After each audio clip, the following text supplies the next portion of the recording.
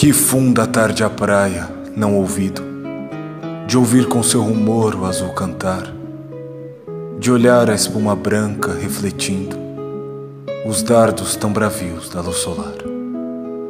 Recordo sentir algo indefinido, mirando os albatrozes a pescar, os barcos no horizonte dissolvidos, os peixes de imprevisto em pleno ar.